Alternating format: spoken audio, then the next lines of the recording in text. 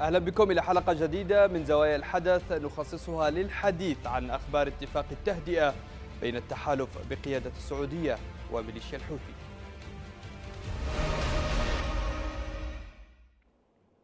قالت مصادر إعلامية أن مفاوضات تجري بين السعودية وميليشيا الحوثي لبحث تهدئة عسكرية بين الطرفين. وبحسب المصادر فإن لجنة سياسية وعسكرية جرى تشكيلها بين السعوديين والحوثيين للبحث في إجراءات وقف القتال على الحدود ووقف الغارات الجوية. وكانت مصادر سياسية قد ذكرت في وقت سابق أن اتصالا مباشرا جرى بين نائب وزير الدفاع السعودي الأمير خالد بن سلمان وبين رئيس ما يعرف بالمجلس السياسي الأعلى للحوثيين مهدي المشاط. نتوقف عند هذا الخبر لنناقشه في محورين. هل تنجح مفاوضات التهدئة بين الميليشيا والمملكة؟ وما هي الأسباب التي دفعت السعودية للرضوخ والحوار المباشر مع الميليشيا؟ بعد نحو خمس سنوات من الحرب يبدو أن هدف استعادة الشرعية اليمنية لم يعد من أولويات التحالف وربما تمضي الأحداث باتجاه مغاير تماما في ظل تقارير تتحدث عن أن اتفاقا سعوديا حوثيا على التهدئة العسكرية يوشك على الاكتمال قريبا. تهدئة من المفترض أن تلزم التحالف بوقف غاراته على مواقع وأهداف الميليشيا في المحافظات مقابل أن يتوقف الحوثيون عن استهداف المواقع السعودية فيما يسمى الحد الجنوبي. تحركات لم تكن وليدة اللحظة بل نتيجة لقاءات واجتماعات سرية منذ أكثر من سنتين في ظهران الجنوب. توجت مؤخرا باتصال بين نائب وزير الدفاع السعودي خالد بن سلمان وبين القيادي البارز مهدي المشاط رئيس ما يسمى المجلس السياسي الأعلى التابع للميليشيا. تقول التقارير إن الاتفاق يتضمن تشكيل لجنة من الطرفين لخفض التصعيد وصولا إلى اتفاق كامل لوقف إطلاق النار بين الأطراف على الحدود السعودية اليمنية. هذا الاتفاق يأتي بعد أسابيع من إعلان الميليشيا مسؤوليتها عن قصف أرامكو وهو الأمر الذي نفته الرياض موجهة أصابع الاتهام إلى إيران الحليف الإقليمي للميليشيا ليعقبه تقديم الحوثيين مبادرة لوقف استهداف المصالح السعودية. يوما بعد آخر يقترب الحوثيون من تحقيق الهدف الأهم بالنسبة لهم وهو نيل الاعتراف بهم من الأطراف الإقليمية والدولية وفي مقدمتها السعودية ما يمكنهم من تعزيز سلطتهم في حين تبدو السلطة الشرعية أبرز الخاسرين. أبدأ النقاش مع ضيفنا من عمان المحلل السياسي عبد الناصر المدة أهلا بك عبد الناصر. أهلا أخ سامي. هذه الحلقة مخصصة للحديث عن أخبار اتفاق التهدئة بين التحالف وميليشيا الحوثي. هناك مصادر تتحدث عن مفاوضات بين الطرفين ومصادر أخرى تقول أن هناك اتصالات تجري اليوم ما بين السعودية والحوثيين. بالنسبة لك أستاذ عبد الناصر بداية ما توصيفك لما يحدث اليوم بين السعوديين والحوثيين؟ في البداية علينا أن نتأكد أن هذه المعلومات صحيحة لأنه كل ما بيصدر هو عبارة عن أخبار بتتداول لكن ليس هناك من ما يؤكد صحة هذه الأخبار. وعلى العموم هناك ضغوط كبيرة على السعودية من الدول الغربية بأن تتفاهم مع الحوثيين بأن تهدئ الأوضاع خاصة بعد أن انكشفت بعد هجوم أرامكو ورفع القطاع الأمريكي عن حمايتها. لهذا الأسباب قد يكون هناك شكل من أشكال الاتصالات نقول ليس المفاوضات ربما الاتصالات. هناك أيضا أطراف في داخل السعودية من المحسوبين على النظام الملكي في اليمن السابق أيضا يقوم بدور الوساطة بينهم وبين الحوثيين أو التواصل بينهم وبين الحوثيين من فترة طويلة. لهذا لهذا من الممكن أن تكون هذه الاتصالات موجودة لكن ماذا يعني ذلك؟ يعني هل هل سيقربنا من من حالة السلام في اليمن أم سينقلنا إلى مربعات جديدة؟ هذا هو المربعات الجديدة للحرب يعني أشكال أخرى للحرب. السعودية آه، تحت الضغوط الخارجية تحت الضغوط الفشل في تحقيق أي إنجازات على الأرض آه، ربما هناك داخل النظام السعودي نفسه من بيضغط بتغيير المنهجية في التعامل آه، مع الحوثيين ومع الوضع في اليمن. آه، قد آه، تلجأ أو قد تضطر إلى هذه التفاهمات أو هذه التواصلات مع الاتصالات مع الحوثيين. لكن آه، لا أعتقد بأن المسألة ستحدث نقلة استراتيجية وتغير نوعي. لا زالت ستستمر الأوضاع في اليمن. يعني أستاذ عبد الناصر انعكاسات هذا الاتفاق إن كان موجود بين السعودية والحوثيين ليست واضحة؟ هل يمكنك قراءة انعكاسات هذا الاتفاق على الملف الأزمة اليمنية؟ يعني لا نعرف كيف ستنعكس بقدر ما الشيء الذي متأكدين منه بأنه الوضع في اليمن ليس هناك من ظروف موضوعية لحالة سلام في اليمن. الأطراف المتصارعة أصبح كل طرف لديه على الأقل منطقة يسيطر عليها ونحن هنا نتحدث عن الحوثيين وبعض الأطراف الأخرى التي هي في الضفة الأخرى. لكن ليس هناك من إمكانية لهذه الأطراف بأن تتوصل إلى حالة من حالة السلام أو آه، عودة من للدولة يمنية ونظام سياسي يعترف به العالم. على الرغم من أن الحوثيين بيشتغلوا بشكل ممنهج وذكي آه، لإيصال رسالة للعالم بأنهم آه، آه، جاهزون لأن يكونوا جزء من أي حكومة شراكة. لكن من يعرف طبيعة الحركة الحوثية يدرك تماما بأن هذا يعني بأنهم يقبلون بأن الآخرون يأتون ليعملوا تحت سلطتهم لأنهم لا يستطيعون يكونوا جزء من عملية شراكة سياسية حقيقية. لهذه الأسباب أعتقد الأوضاع فقط في اليمن آه، هي تتحرك من فشل إلى فشل.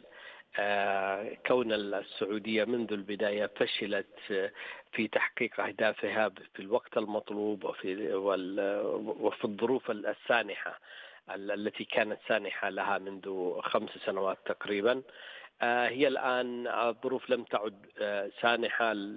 عندما بدأت الحرب كان هناك تحالف إلى حد كبير من عدد من الدول وكان هناك آه، وجود آه، دعم عربي إقليمي وحتى دولي. لكن بعد أن فشلت وبعد أن أصبحت وحيدة الآن آه، مع الانسحاب الإماراتي بعد أن فضلت الإمارات أن تنأى بنفسها لتنجو أيضا من من لعنة اليمن وتداعياتها على أمنها وعلى وحدتها.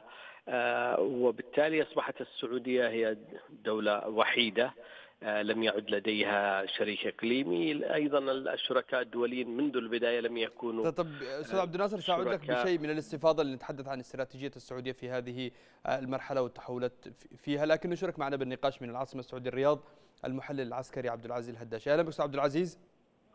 أسعد الله مساءك ومساء ضيفك الكريم أستاذ عبد العزيز بداية كيف تنظر إلى واقع التهدئة بين السعوديين والحوثيين آه، في هذا التوقيت؟ آه، شوف التهدئة بشكل عام قد حصلت سابقا وقد تفاوض الحوثيين مع السعودية بشكل مباشر آه، بعد الحرب يمكن بأربع شهور إلى خمس شهور كانت محادثة ظهران الجنوب وتحرك محمد عبد السلام وفد حوثي رفيع المستوى إلى إلى السعودية. وهذا وأكثر من مرة يعني ليست المرة الأولى.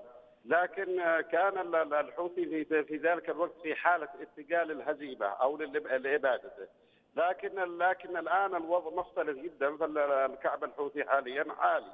لكن اي أي هدنة دون أفق سياسي للحل هي تأجيل للحرب لتنفجر مرة أخرى.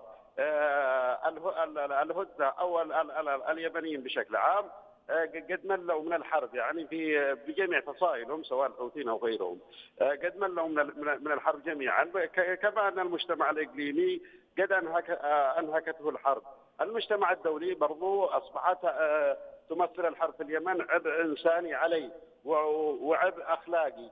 فالضغوط الدولية والإقليمية وحتى الشعبية في اليمن مع مع توقيف الحرب أو على الأقل هدنة، لكن دون أفق سياسي للحل آه، اي حرب في العالم ضروري تنتهي بحل سياسي.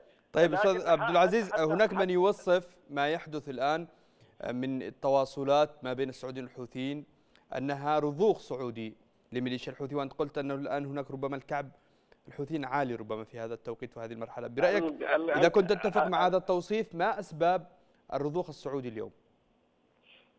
هو ليس رضوخ بالمعنى الذي بالمعنى الحرفي للرضوخ، السعودية برضو انهكتها الحرب يعني لفترة طويلة الفترة طويلة من الزمان. أيضا يبدو لي أن السعودية وغيرها لم يعد يثق بالشرعية الشرعية نفسها الشرعية ذاتها. الشرعية نفسها مشتتة. يعني أشتي أقول لك الحوثي راهن من بداية الحرب على إطالة إطالة زمن الحرب، الإطالة هذا تعني استنزاف أخلاقي ومادي آه، للسعودية وللتحالف بشكل عام. آه، طول زمن الحرب يؤدي إلى تخلخل اجتماعي وإلى وإلى تغير التحالفات الداخلية. طول أمد الحرب الذي راهن عليه الحوثي يؤدي إلى يعني تغيرات في الموقف الإقليمي والدولي، ولعل الجميع لم يكن لم يكن يدرك هذه الحقيقة، إضافة إلى أنه أصبحت المشكلة لم تعد انقلاب صنعاء فحسب لدينا انقلاب آخر في عدن، وأصبحت القضية اجتماعيا واقليميا ودوليا مع إيقاف الحرب. التهدئه التهدئة أنا عندما قلت لك يعني قبل كذا كان الحوثي هو الطرف الأضعف. آه الآن الحوثي اصبح أصبح قوي خصوصا مع توقف الجبهات لأكثر من سنتين أو ثلاث سنوات. آه، حقيقة التهدئة ليست جديدة، التهدئة قائمة من طرف الشرعية ومن قبل السعودية ومن قبل التحالف الحوثي ومن يهاجم في جميع الجبهات منذ 2016 يعني لم تعد هناك أي جبهة شغالة أو تهاجم الحوثي أو تشاغل الحوثي. الآن الحوثي هو من ينفرد بالجبهات. وعلى سبيل المثال المعركة التي حصلت في كتاب الشهر الماضي الأسبوع هذا في معركة الملاحظ في معركة في باقم في معركة برضو في البوق. والحوثي يحقق تقدمات يعني لا, لا, لا أقول الجمع الكل الآن منتظر الحوثي فين يهجم آه، يهاجم الضالة يهاجم في كل مكان. بينما القوات الشرعية أو القوات التابعة للتحالف منتظرة هجوم الحوثي. آه، اعتقد أعتقد إن السعودية هي قد أدركت أنه لا يمكن يعني وأعتقد في تصريحات سياسية للقيادة السعودية على الحوثي جزء من الشعب اليمني، لكن سيب هذا كله على جنب، ما الذي سوف يحصل في الفترة القادمة؟ المشهد القادم، الحوثي يراهن الآن على إبعاد الطيران العربي سواء كان السعودي ولا الإماراتي، ابعاده من المشهد اليمني وبحيث تتوقف الحرب الخارجية. ويبدأ يقول نحن اليمنيين نتصافى مع بعض أو نتفق مع بعض أو نسد مع بعض. هنا الحوثي سوف ينفرد في الجبهات الداخلية وسوف تتآكل امامه جبهات أخرى. طيب هذه الرغبة الحوثية هل يمكن أن توافق عليها السعودية وفق صفقة ما؟ لا ليس الصفقه في نهاية المطاف السعودية مل انهكت من الحرب أو ملت من الحرب والوضع الوضع الدولي والإقليمي يعني مع مع توقيف الحرب هذا. فالسعودية آه، مع المجتمع الدولي سوف يعمل سوف يقوم بعمل مؤتمر سلام. خلال مؤتمر السلام هذا آه، آه، وخلال مرحلة طويلة للأمام الحوثي هنا سوف يأكل الجبهات جبهات والجبهة بشكل بشكل منفرد.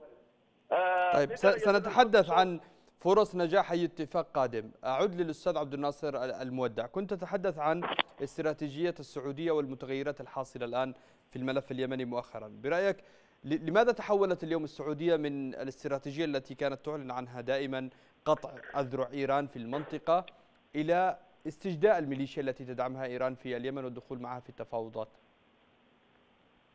أولا تحية الأخ عبد العزيز. يعني الإجابة باختصار أنها فشلت في القضاء على الحركة الحوثية وهذا هذا الهدف لا يعني بأنها تخلت عنه ولكن لأنها فشلت وبالتالي أيضا الضغوط الكبيرة عليها. هناك لا أقول أن هذه خطوة استراتيجية من قبل السعودية قد تكون هي خطوة ونوصفها بتغير تكتيكي بمعنى أنها تراهن أيضا على أن هذه هذه الضغوط عليها ربما تكون وقتية. ربما تراهن بأنها ستحدث شيء سيحدث شيء ما على الأرض. لكن كل الأمور تشير بأن الأوضاع هي تزداد تعقيدا. في اليمن والسعوديه تزداد انغماسا في المستنقع اليمني وإيران هي المستفيدة من كل ما جرى. ما يسمى الشرعية فقدت كل مقوماتها الأخلاقية والسياسية والعسكرية بشكل عام وأصبح ادائها ضعيف جدا وباهت. هناك قوى جديدة ضعيفة أيضا وتخلق مشاكل كالانفصاليين في الجنوب والجهويين في أكثر من مكان. هناك المشكلة الإنسانية وضغطها الكبير على السعودية. بالإضافة إلى أن الحوثي أيضا أصبح في وضع عسكري أفضل بكثير مما كان عليه في السابق. لهذه الأسباب كلها ربما فقط ما تقوم به السعودية هو أقرب إلى المناورة. لا أعتقد بأنها تغير استراتيجي لأنه ليس من مصلحة السعودية. أي أي توقف للحرب في الظروف الراهنة هو هزيمة وهزيمة للسعودية ولا ولا أعتقد بأن السعودية وصلت ظروفها إلى أن تقبل بالهزيمة. طيب أستاذ عبد الناصر بما أنك أنت تقول أن السعودية لن تتخلى ولن تقبل بمرحلة اللا حسم في اليمن سأعود لأسألك عن هل تنازلت السعودية عن مسألة استعاده الشرعية؟ لكن نشرك معنا بالنقاش من المملكة العربية السعودية المحلل السياسي السعودي سلمان عسكر أهلا بك أستاذ سلمان. أهلا وسهلا حياك الله. أستاذ سلمان هناك أنباء تتحدث اليوم عن اتفاق بين السعودية والحوثيين للتهدئة العسكرية. ما الأسباب التي دفعت السعودية للذهاب نحو هذا المنحى؟ في البداية احييك واحيي ضيفك واحيي السادة المشاهدين والسيدات. سيدي أنا قبل هذه الأسباب وقبل ما أنا أستعرض الأسباب لا صحة لما ورد أو لما تم أو لما يتم تناقله. اولا المملكة العربية السعودية عزيزي ليست طرف في المشكلة. هي جزء من التحالف العربي الذي أتى لدعم الشرعية في اليمن. آه ما يجير أو يثيره الإعلام الحوثي أو ما نقله ناطق الحوثيين بأن هناك تهدئة وما شابه ذلك هذا شأنهم، هم عندما يحسون بالهزيمه ويشعرون الكبيرة في صفوفهم يحاولون استعادة قوتهم أما بمماطلات أو بطلب هدن أو بإرسال رسائل مباشرة أو غير مباشرة بأنهم يوقفون عملياتهم الحربية أو ما شابه ذلك. ما حدث قبل يومين هناك يعني مصرع لقائد لواء الصماد في صعدة قبل يومين تحديدا يوم الاثنين الماضي أيضا هناك سقوط عدد من عناصر الميليشيات الحوثية في صعدة في أيدي الشرعية فقدت الميليشيات الإنقلابية في صعده عدد كبير من عناصرها الذين سلموا أنفسهم عنوة وبكل يسر للقوات الشرعية.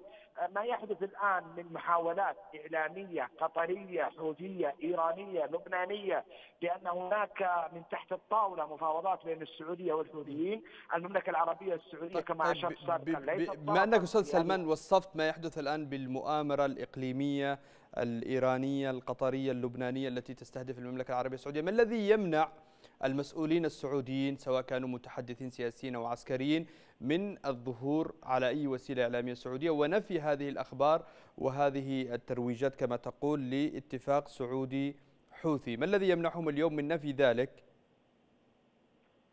لا سيدي عندما كل أمر تافه. ولا ولا لا يصل إلى المقام الضخم والمهم أو حتى الكثير المقبول. فلن يطلع ناطق التحالف يتكلم عن وزارات أو مهاترات اعلاميه ناطق ناطق التحالف العربي يطلع في أمور محددة في مواعيد معينة أو عندما يستدعي الأمر لإيضاح أمرا ما. مثل هذه الأمور يعني لا تهم أصلا لا تهم أبسط البشر ولا ينظر لها بأي اهتمام وهي في الأخير تعتبر مناورات إعلامية حوثية قطرية إيرانية وهذا الأمر معروف منذ خمس سنوات. لأنه يعني سلمان يعني هناك في أحد الأخبار على وكالات عالمية مصادر سياسية تتحدث عن اتصال حدث بين نائب وزير الدفاع السعودي الأمير خالد بن سلمان والمشاط رئيس ما يعرف بالمجلس السياسي الحوثي يعني يمكن حتى نفيه بتغريدة على تويتر من الأمير خالد. الأمير خالد أكبر من أن ينزل إلى هذه المهاترات.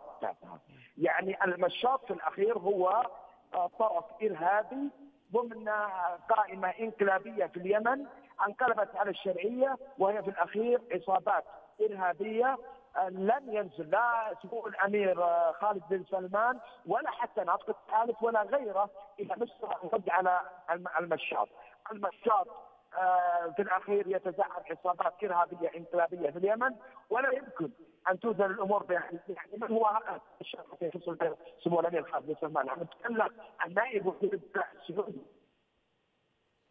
وفي طيب. الجانب الآخر قائد عصابات إرهابية، يعني يجب أن نترك الأمور في موازينها وان نعطي الأشخاص مكانتها. طيب أعود للأستاذ عبد العزيز الهداش، أستاذ عبد العزيز آه، ما يصفه البعض بالرضوخ السعودي آه، للحوار مع ميليشيا الحوثي. يقول الأستاذ عبد الناصر المودع أن ما يحدث ربما وهو يقرأ تعامل وتعاطي السعودية في هذه اللحظات مع ما يروج له على أنه ربما قد تكون مناورة سعودية وأنها لا يمكن أن تتخلى عن مسألة استعادة الشرعية. لكن أين هي اليوم الشرعية مما يحدث من اتصالات ربما إذا كانت آه، موجودة؟ لماذا تغيب الشرعية برأيك؟ آه، اولا قبل كل شيء أنا ذكرت لك إنه محمد عبد السلام يعني في بداية الحرب يعني بعد ستة شهور آه، وصل إلى ظهران الجنوب. فأنا أعتقد أن وكان الأمر معلن يعني وغير مخفي وكان سعي لحل سياسي وبعدها يعني كان في الكويت. آه، المهم واعتقد أنه لا توجد الآن محادثات مباشرة أو غير مباشرة. يعني يعني حسب معلوماتي لأن في معارك قبل يومين على الحدود السعودية في جبهات الملاحد بالذات وهناك شهداء سعوديين قبل يومين. يعني والخبر هذا الخبر المحادثات السعودية الحوثية طلع الخبر أمس. واعتقد أعتقد أنه غير صحيح. يعني بالنسبة لي حسب المعطيات العسكرية في اشتباكات في جبهة باقم وهي جبهة حدودية وفي جبهة الملاحي. فاعتقد إنه الخبر غير صحيح لكن لا يمكن أن ننكر أو نتجاوز أن المملكة العربية السعودية تتعرض لضغوط هائله سواء محلية أو يعني على مستوى الشارع عفوا على مستوى الإقليم أو على مستوى المجتمع الدولي. فقد فقد القيادة في السعودية آه، تعطي فرصه للمحادثه لمحادثه السلام الداخليه اذا جاز التعبير أو لعمل مؤتمر سلام أو لاقامه الحجه على الحوثي بمعنى انها تقول آه، ها نحن اعطيناكم هدنه آه، لا ها نحن اعطيناكم هدنه والحوثي هو الذي رفض الهدنه أنا أقول ربما لكن حسب معطيات المعارك حاليا على على الحدود لا توجد هدنه لا توجد هدنه آه، وإذا حصلت محادثات أو في صلوة الحوثي كما وصل في عام 2015 إلى ظهران الجنوب وبيكون وبتكون حاجة معلنة من فوق الطاولة. بالنسبة للشرعية أنا سبقا قلت لك إن أداء الشرعيه أداء الشرعية ضعيف جدا والأخ عبد الناصر يتكلم في نفس الموضوع أداء الشرعية آه، ضعيف جدا وربما أنك لو التقيت بعض المسؤولين حق الشرعية سوف تستغرب آه، من موقفهم هم بعضهم لا يعلم عن الحرب أي شيء ولا يهمه إلا استثمارات آه، إلا استثماراتهم في الخارج ومشتتين يعني في في في كل بقاع العالم أذكر لك على سبيل المثال للحصر آه، محافظة عز لماذا لا يعود إلى المحافظة؟ هذا فقط على سبيل المثال هي المحافظة محررة ومقر المحافظ محرر وكل شيء محرر لماذا لا يعود إلى مقر المحافظة؟ هذا كمسؤول صغير لماذا لا تعود الحكومة إلى عتق أو إلى مارب؟ لماذا لا يتحرك رئيس الجمهورية الحرب؟ الحرب تظل هذه التساؤلات برسم و... الحكومة الشرعية. أشكرك جزيلا أستاذ عبد العزيز الحداشي المحلل العسكري. كنت معنا من الرياض. أعود للأستاذ سلمان عسكري. أستاذ سلمان هناك اليوم من يتساءل. السعودية لم تتمكن من حسم الملف العسكري في اليمن وأنها أصبحت تعيش ربما نوع من التوهان في الأزمة اليمنية. ردك.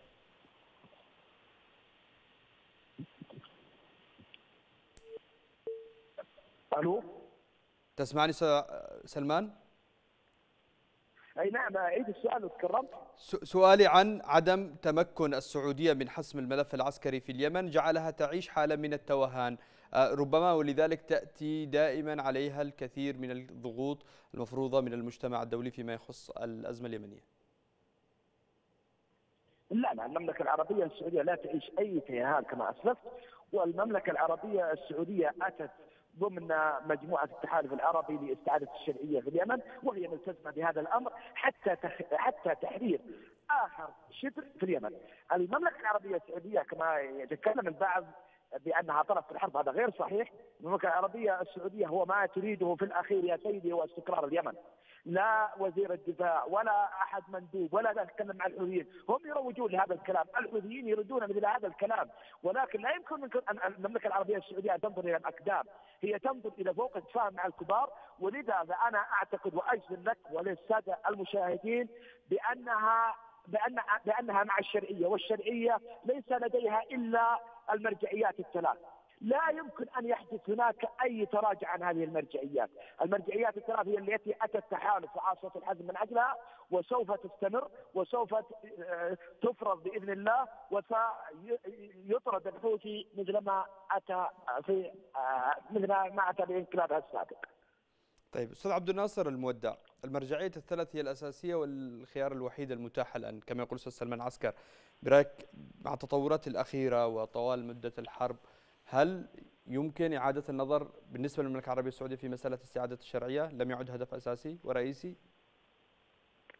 يعني في في البداية الهدف السعودي هو القضاء على الحركة الحوثية و آه، إنهاء النفوذ الإيراني في اليمن الذي يهددها. هذا هو الهدف الرئيسي.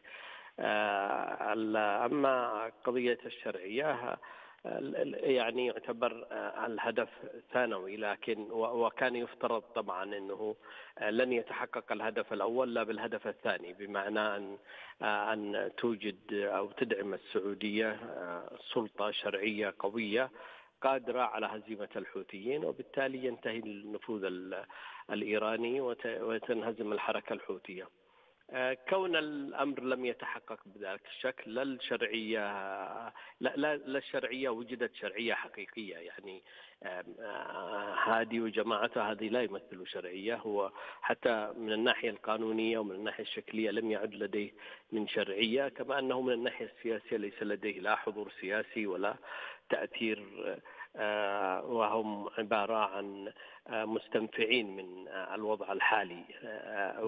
ومن ثم هؤلاء ليسوا أصحاب قضية. حتى طيب نقول أشكرك. عليهم بأنهم أصبحوا يمثلوا مشروع وطني. هذا المشروع الوطني يمكن أن يتأسس على الأرض كواقع كمؤسسات كجيش. هذا الأمر لم يحدث ولن يحدث يعني هذه الشرعيه ما دامت لن يحدث هذا الأمر. وبالتالي هناك حالة توهان للسعودية ونحن اليمنيين أيضا حالة من التوهان لنا, لنا كيمنيين. أنكر هذه الحالة أستاذ سلمان. عسكر. أشكرك جزيلا أستاذ عبد الناصر المودع أختم مع ضيفي من السعودية سلمان عسكر بآخر دقيقة في هذه الحلقة. إذا ما تحدثنا عن موضوع الجنوب هناك تساؤل مطروح الآن. أن السعودية لماذا ما زالت تلعب دور ضئيل فيما يخص الضغط على الإمارات المتحكمة اليوم بالملف وتقليص نفوذ الأطراف التي تحظى بدعم من الإمارات خارج إطار التحالف العربي؟ سيدي من هذا الكلام يكثر وهناك مشاهدات عن وجود خلافات سعودية إماراتية وأن الإمارات تعمل وتعمل. هذا مجرد إعلام معارض للتحالف العربي، المملكة العربية السعودية والإمارات العربية المتحدة هم وجهان في الرأس وعملهم في اليمن من أجل استعاده الشرعية التي هي وفق المعطيات الأساسية لاستعادتها، عدا ذلك يا سيدي لا يمكن أن ينظر لها أي كلام، الإمارات العربية من قبل بضعة أشهر اعلنت أنها انسحبت في اليمن. الامارات لا تزال في اليمن ولا تزال تقدم الاغاثه ولا تزال في المعركة ولا تزال مشاركة وامام الهدف الرئيسي الذي هو استعاده الشرعيه هذا كل ما أود أن اوضح لك سيدي والسادة المشاهدين. سؤالي كان عن لماذا السعودية لا تلعب دور أقوى ومؤثر في الجنوب؟ المملكة العربية السعودية ليست مع الجنوب ولا مع الشمال يا عزيزي، المملكة العربية السعودية مع دولة اليمن مع استعادة الشرعية ثم بعد ذلك قضية الجنوب هذا شأن آخر من حق اليمنيين أن يتفقوا فيما بينهم بعد تحرير اليمن من هذا طيب سؤال أخير أستاذ سلمان أيهم أولوية الآن لدى السعودية؟ استعادة الشرعية استعادة الشرعية في صنعاء وفي عدن؟ نعم. الآن الأولوية بالنسبة للمملكة العربية السعودية استعادة الشرعية من أين؟ من صنعاء ومن عدن؟ لأنه الشرعية للأسف سقطت في صنعاء وفي عدن. لا لم تسقط يا سيدي. الشرعية لا تزال الشرعية نتكلم عن الشرعية المعترف بها دوليا لا تزال موجودة. يعني الآن المعترف بها شرعية الحوثي الحوثي الحوثي انقلابي لا شرعية اذا ليس هناك امام العالم الاعتراف بالشرعية المعروفه وهي شرعية هذه، أما بعض الذين يحاولون أن يشككوا بشرعية هذه وأن يقرروا منها فهذا شانهم وهذا تصير حسابات شخصية لا يهمني النظر إليها، الآن أمام اليمنيين وأمام الشرعية الحكومة الشرعية وأمام الجيش اليمني وأمام الاتحاد العربي هدف رئيسي واحد وموحد وهو تحرير اليمن، أشكرك. أمامنا عصابات حوثية إيرانية لابد أن تطهر الأرض اليمنية منها ثم بعد ذلك لكل مكان ومكان على ما يقال سيدي. أشكرك جزيلا سلمان عسكر محلل السياسي السعودي والشكر أيضا موصول لضيوف هذه الحلقة من زوايا الحدث في الختام. تحية طاقم البرنامج ومنتج حلقة اليوم عبد الرقيب الأبارك